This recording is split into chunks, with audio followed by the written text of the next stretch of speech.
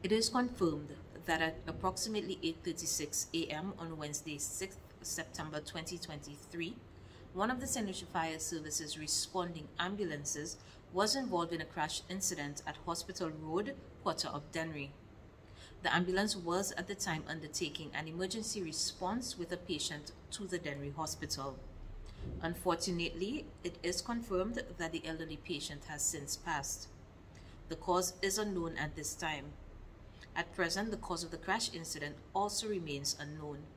Investigations are ongoing to identify the cause of the incident. The management and staff of the St. Lucia Fire Service extends sincere condolences to the family and friends of the deceased. We also take this time to empathize with the family whose home was impacted during this incident. St. Lucia Fire Service is committed to the highest level of safety in all of its operations and remains resolute to rendering emergency medical service at industry standard in quality and timeliness to all communities in St. Lucia from our various fire stations.